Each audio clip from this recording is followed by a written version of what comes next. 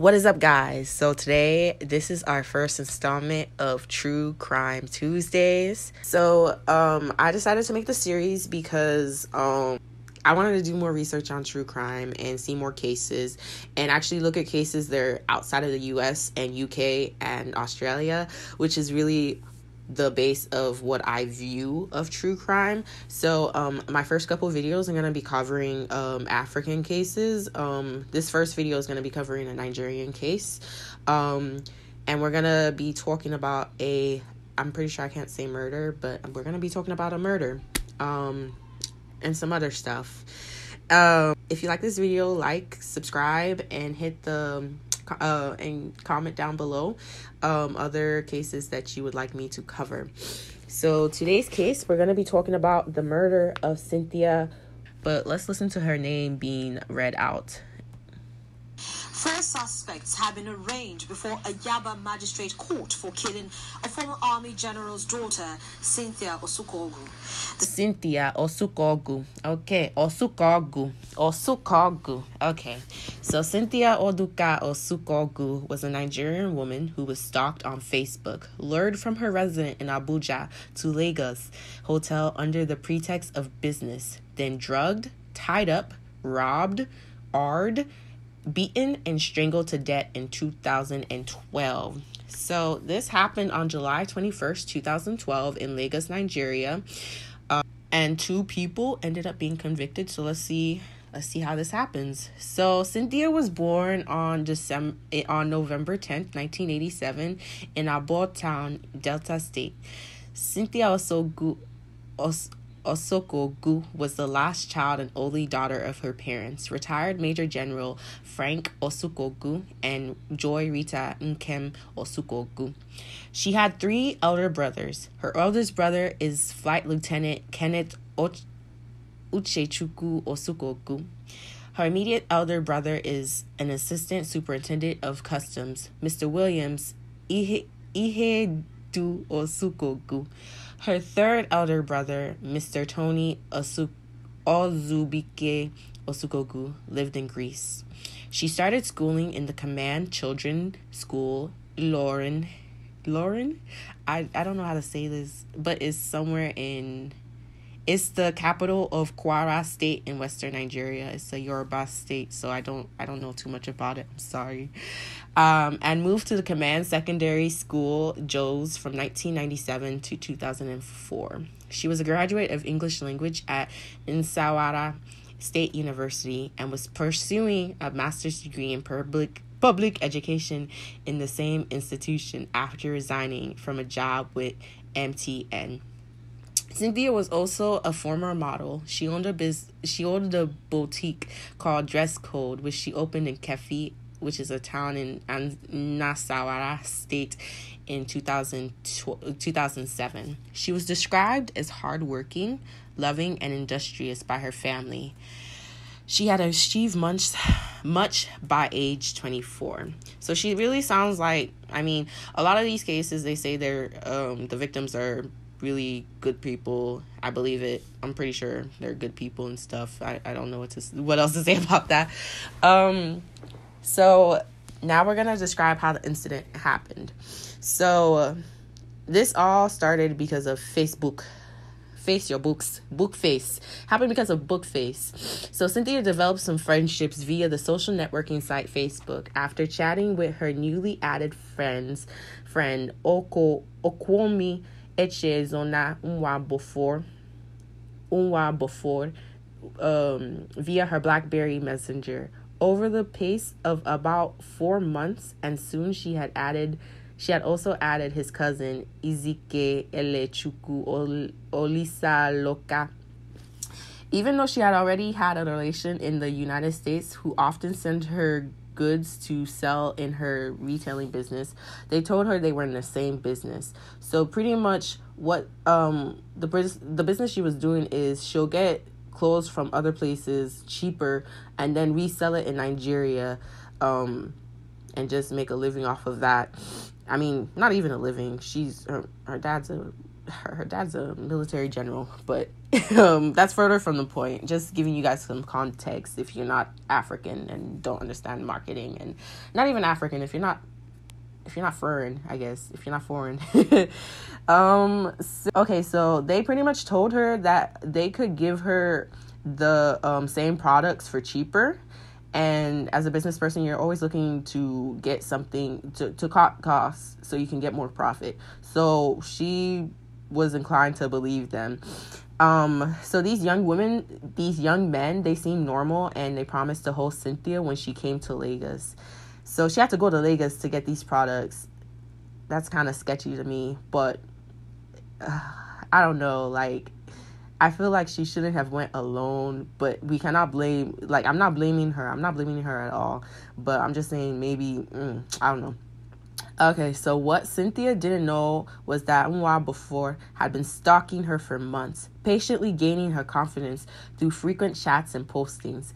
When she informed him she usually comes to buy goods in Lagos, they made arrangements for her visit while promising to help her get the goods at cheaper prices.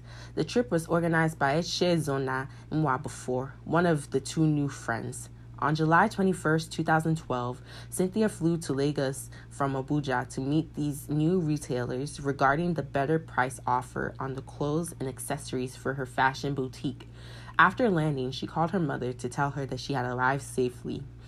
The two young men picked Cynthia up from the Murtala Mohammed International Airport, Ikeja, and drove her to Cosmila Hotel in Lakeview Estate in Festac Town. At the hotel, they entertained her and offered a, her a Ribena brand drink, which was pre-drugged with ro Ropanol, Ropanol, Rop, Ropanol, which is so that's pretty much a date rape drug. Um, yeah, that's a date rape drug. But um, so after they they pre-drugged her and soon they realized that the amount of drugs that they gave her was not enough. The drug was not taking it wasn't taking its effect as quickly as they wanted it to. So since the drugs were not kicking into her as soon as they wanted it to, they decided let's beat her. Let's beat her and ask her where she's kept her money. Um, so they presumed she would hold a lot of money on her. Um, she says she didn't have any more money to spare. She just came with enough money to pretty much get the products and pretty much stay in Lagos for how, however long she was going to stay in Lagos to get the products and just go. So, um, when they didn't get any money out of her, they tied her up, robbed her of all the money she brought to shop for her business, her three Blackberry phones, jewelries, international passport, driver's license, and then they arred her and finally strangled her to death. The next morning, after having spent the night with Cynthia's body, they then abandoned her, left the hotel, and quickly unfriended her from face from their Facebook list to remove any trace of their connection. Unknown to them, there was a hidden CCTV camera in the hotel which report, recorded part of the event. According to the hotel's receptionist account, Miss Ife Ifewa Njebu the two checked in at the hotel at 8 a.m. on July 21st, 2012. By the time they checked out, she had handed over the second she had she had handed over the second she had handed over to the second receptionist. So they had switched shifts who had taken over duty. So she asked to help she asked her to help them out. They checked in again with Cynthia at the hotel at about 12 a.m. on July 21st, 2012. When Miss Njebu resumed the next day on by July 22nd, after um, Vivian handed her handed over to her and gave her details about the room already occupied. The room that Miss Njebu checked in the couple checked in the couple was to expire on July 22nd. After the two left in the morning, the brother came to came to take over the room. So she noted that, and she was also aware that the other person was still occupying the room.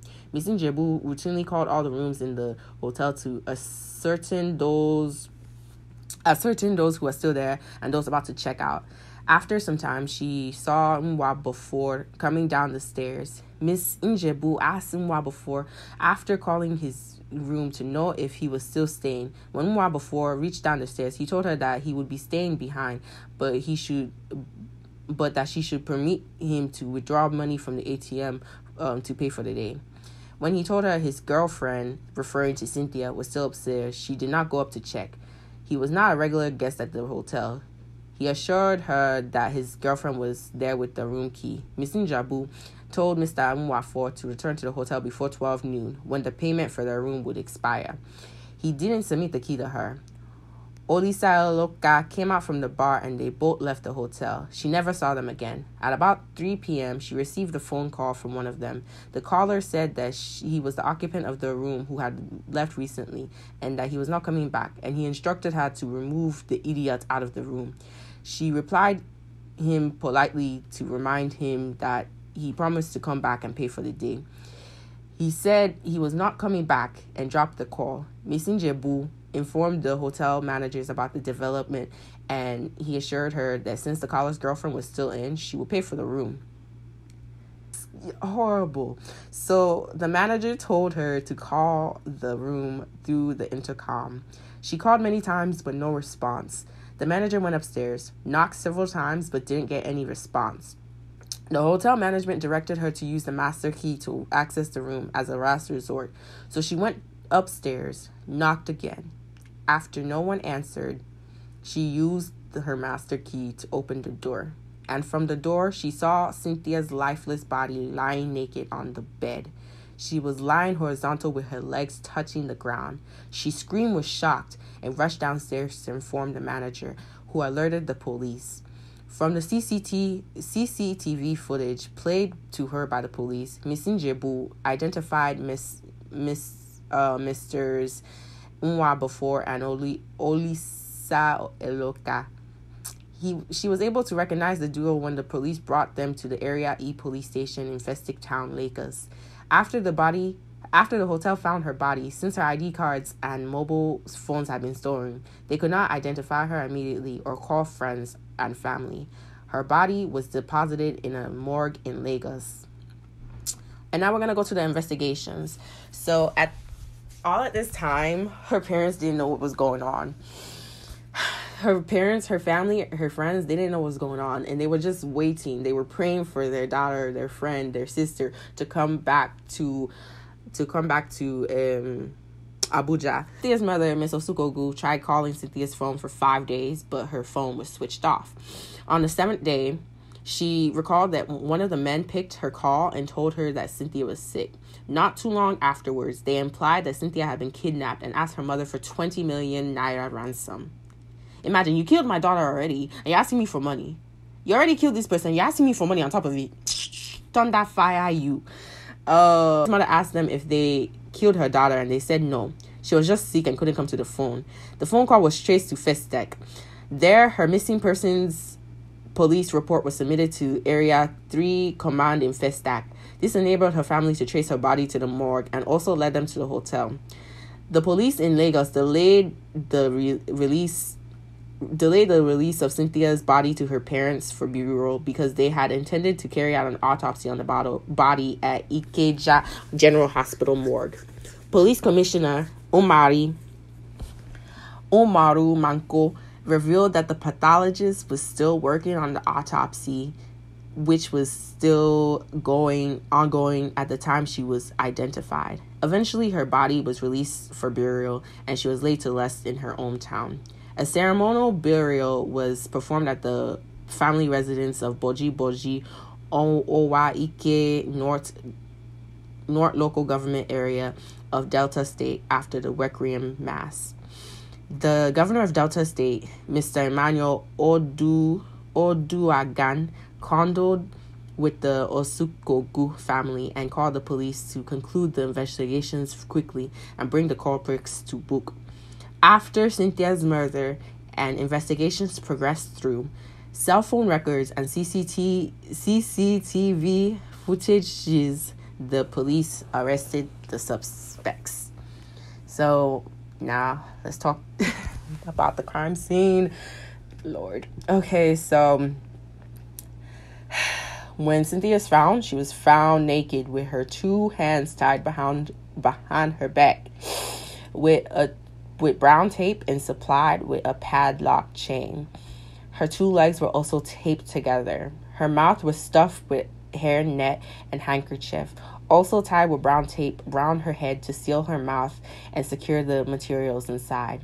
There were pinpoint holes in her white eyes as well as inside the upper part of her airways and surface of her lungs. A condition described as petit, hemorrhage. The pathologist also revealed that Cynthia had suffered pulmonary edema an overweight of the lungs, which from being soaked by blood.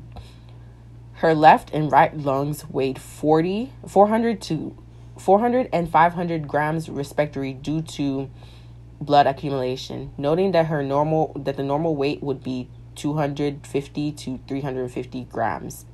The final autopsy stated that Cynthia was as- asphyxiated, suffocated to death through blockage of air into her lungs. Apart from her death resulting in asphyxia, the pathologist John Oladapo Obafunwa also observed that she had multiple bruisings and abrasions suspected to be from biting.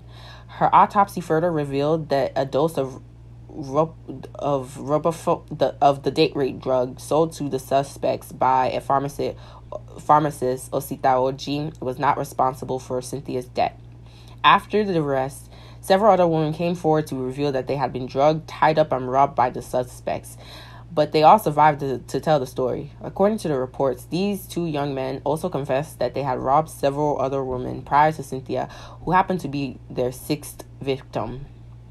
The gang reportedly specializes in luring unsuspecting young women, robbing them of all their possessions before killing them. Although they were speculations that their motive was ritualistic, it appeared that it was greed and their main goal was to rob and kill. The specific reason Cynthia was killed was not fully established. The police proposed some theories, however.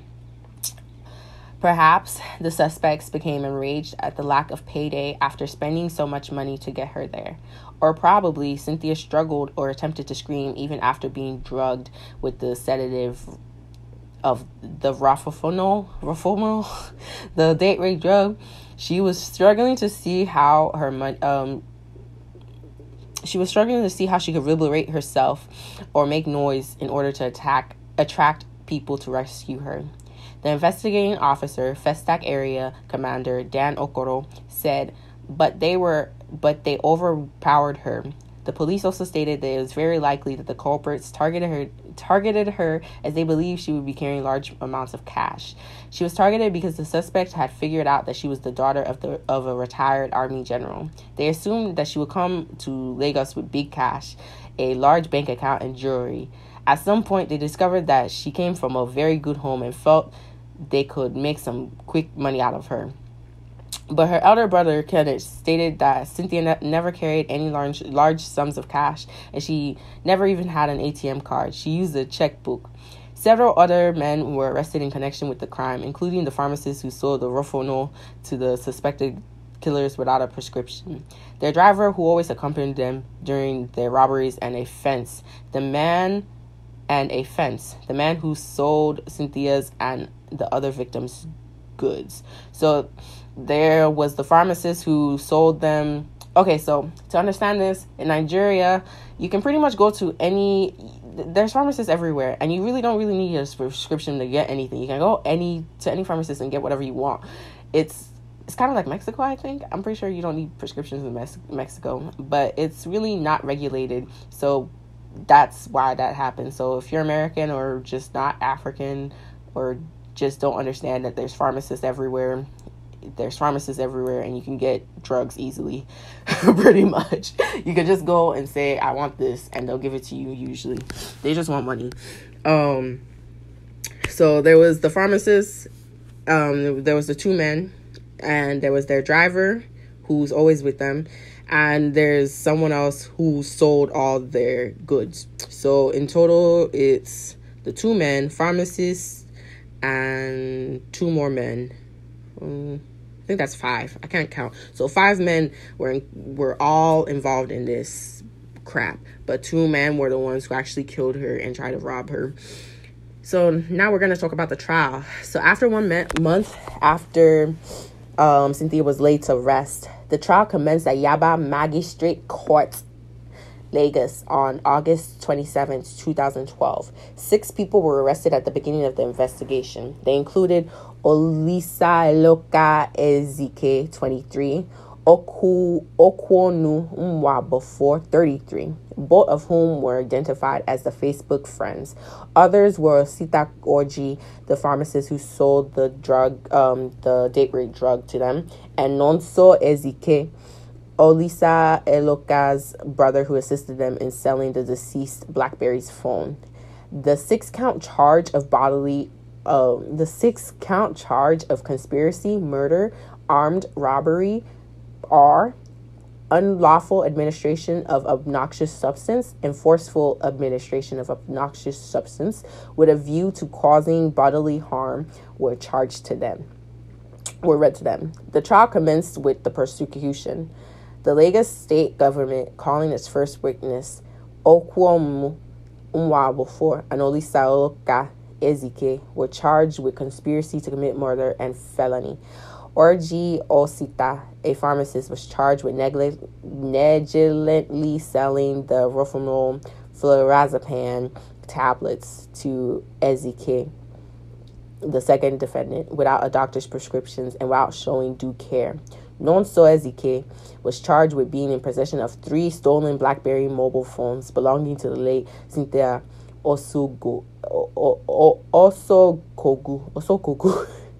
After all the accused and initially pleaded not guilty to all six counts, Justice Olabisi Akinlade of the Lagos High Court, sitting at Ibo City, admitted as evidence confessional statements of the corporates recorded in video. Video. When the, first defendant was arrested, he confessed that he knew what he did and that everything was over. The second defendant that operated the BlackBerry phone to reveal the chain used in tying his victim. This first defendant was arrested in August tw- uh, 28, 2012, after he made the confessional statement. The Attorney General of Lagos State, Mr. Ade Ipaye, prosecuted the murders murder suspects revealing details of photos from the crime scene in the court from a laptop. The witness added that he and his team followed the first defendant to his home in Festac and recovered the said laptop, along with some photos and various network SIM cards. On that same date, the first defendant was asked to open the laptop. When he which he carried him by himself to the area com- commander's office. Pictures of the deceased laying down, lying down, and her inter- international passport lying on her chest was really revealed. The witness said. Another prosecution witness testified that from his investigation, it was discovered that the fourth defendant, Nonso, received different stolen phones from the first and second defendants on three occasions. The fourth defendant stole somebody's receipt in Ladipo Market, which he used in selling the deceased phone to somebody in Port Harcourt, and the person was arrested. The witness also told the court of another investigation against the defendants in separate hotels, Chelsea Soup and Penny Hotel Festac, where they were allegedly to have carried out similar acts. The cases were separated because the incidents did not happen on the same day. It was based on the confessional statements by the first and second defendants that they carried out similar acts in other hotels in Festac. In other in one of his appearances in court, Nwabufo denied ever knowing about Rofinol or nor did he put it in Cynthia's drink. He also claimed that Cynthia was his lover and they were planning to get married before her death. Nwabufo said he met her on ShopRite Mall in Lekki in 2011 when he went for shopping. While while she was shopping at a fashion shop, dismissing the allegations that they met on, met on Facebook. She he also added that when he met her, he, she was making inquiries, so she he introduced himself to her and she did the same. Adding that they exchanged contacts afterwards. He also said that they developed friendship after exchanging addresses and becoming ever very close since then. However, there has been no sufficient sufficient evidence to warrant this claim. The judge also dismissed the claim by Mr. Nwabufor that Miss Osokogu was his fiance and was trying was going to introduce him to her father, saying that the lover's story was false because under cross examination, Nwabufor could not tell Cynthia's birthday, the name of her mother, her hometown, or in fact anything about her. so like, yo, you gonna kill me and then you gonna lie on my name and say I was with you? Nah, sir. Nah, sir. Nah, nah, it's not happening. Oh my god. Ugh. Though the convicts pleaded not guilty and tried to withdraw the confessional statements they made to the police, claiming they were under duress, the court admitted the statements they were made they made were corroborated by testimonies of the witnesses and the evidence provided by the police. The judge said that the fact that the police produced a video footage of the convicts making the confessional statements also helped in countering the claim by the convicts that they made the statements under duress. The court was satisfied that the confessional statements were not given under duress and admitted them into evidence. A confession is sufficient to gain conviction, said the judge. The confessional statement of the accused is consistent with the state of body and consistent with the medical evidence. The judge said she would have the the judge said she would act on it accordingly. While delivering the judgment, the judge said that the accused deserved the sentence as they were not remorseful for their actions and they were telling the court lies after offering confessional statements to the police. The judge also found du- found the duo guilty on three other counts and sentenced them to a total of 20 years imprisonment each. They were sentenced to 14 years in jail for conspiracy to com- commit murder, three years for conspiracy to commit felony by stealing, and three years for stealing a Blackberry phone.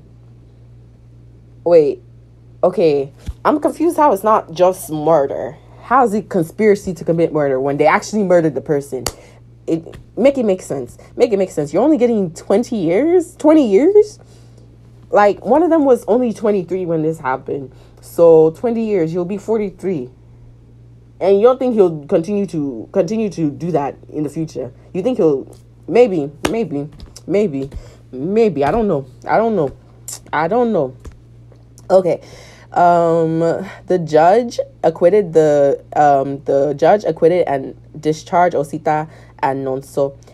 So Osita was Osita was the um, pharmacist and Nonso was the brother who was selling the phones. I don't know why you would discharge. Why would you acquit them? Like they did something, but it's whatever. It's whatever. Why would you acquit them? Why? Why? It's, it's cool. It's cool. Uh, while delivering the judgment, Ms. Akinlade said she relied on the evidence and testimonies provided by the prosecution. She said, having carefully analyzed the evidence and testimonies before court, the prosecution proved beyond reasonable doubt that Mr. Nwabufor and Ezekiel and Ezekiel murdered Mrs. Osokogu.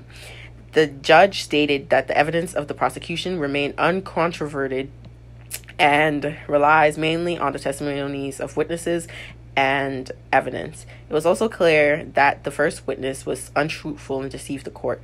In sentencing both men, okay, okay, okay, so they're getting more sentencings. Good. We're good, okay. So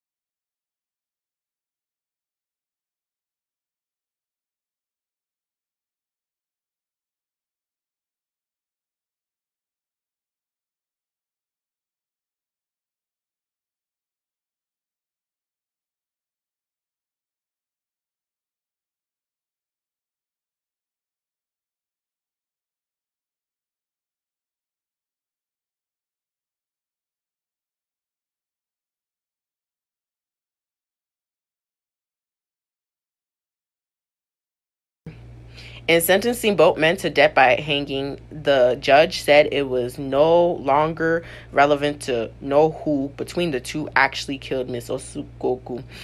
So every both of them, both of them's gonna die because we don't know who did it. We like I, we know those two did it. They was involved with it. So we just gonna say they going both to jail, as they should, as they should. um, the second defendant acted in consent with the first defendant and will bear the consequences of their actions, irrespective of whoever committed the offense. The judge held that with its 10 witnesses and 17 exhibits.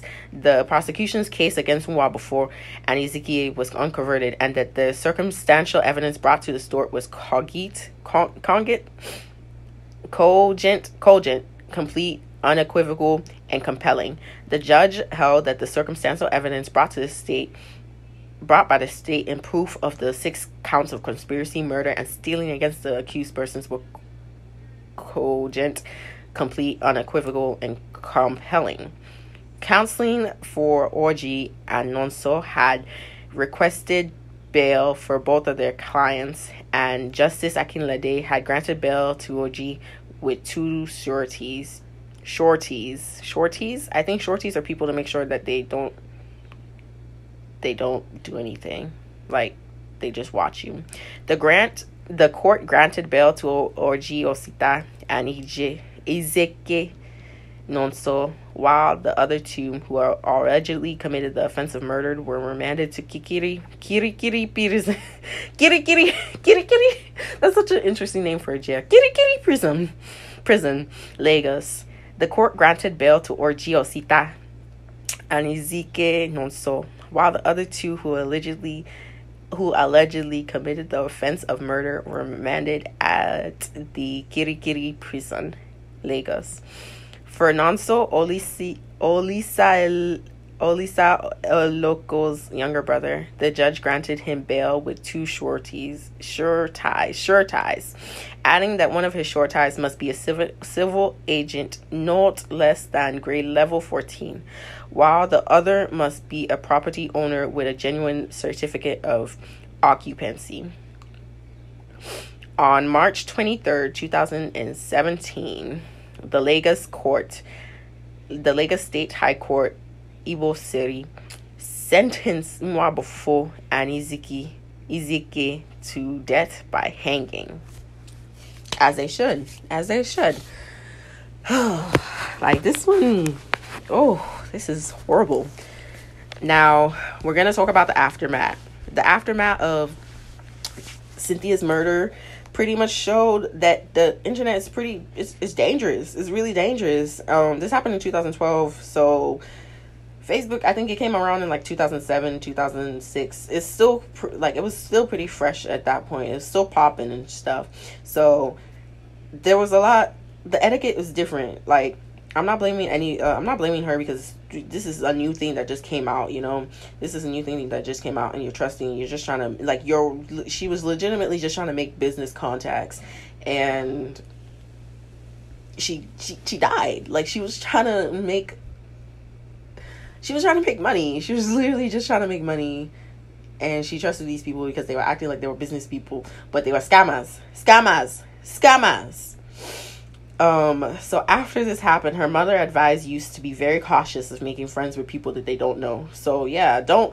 I get a lot of people adding me on Facebook that I don't even know. I'm just like, who are you? Do I? I don't add them because I'm like, who are you? Like, especially the random, the random Indian, the random Ghanaian, the random Nigerian men that just like add you on Facebook for no reason. Like, how did you even find me? Who? How do you even know who I am? Like, go away. Like, leave me alone.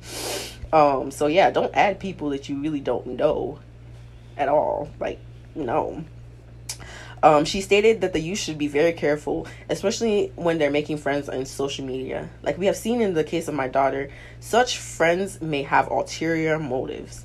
The police said that the incident was a wake up call to parents to become more vigilant about what their children are involved with while surfing the web. Stricter regulations were proposed for the federal government to ensure and restrict the sale of the sedative drug Rohypnol over the counter without the doctor's prescription in Nigeria. Okay, so they they they actually did something good. They they stopped selling um Rohypnol the the date rape drug over the counter. Thank God. Um, the judge's final verdict lifted the hopes of some who had lost interest in the case.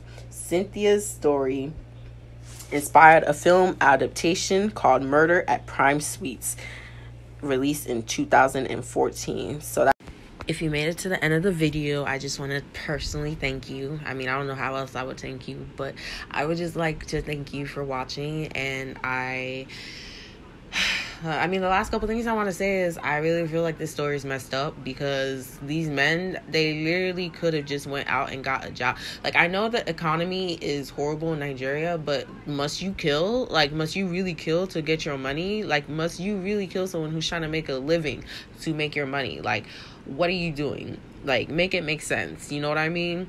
Um my prayers go up to Cynthia's family and her friends and everyone who knew her. She seemed like a great girl. And I'm really happy that those guys were put down. I wish that the brother or the brother who was selling the phones and stuff would would have gotten more more time and I also wish that the pharmacist would have gotten more time because why are you selling that? Why are you selling date rape drugs? Like I know it's just because something is legal at the time does not mean that it's okay for you to really do, but it's whatever. Um, I'm glad that they put in they started regulating it. But honestly, um, that's pretty much all I have to say. Like, subscribe, comment down below, and let me know what you would like to hear about next. Um, yeah, thank you. Bye, guys.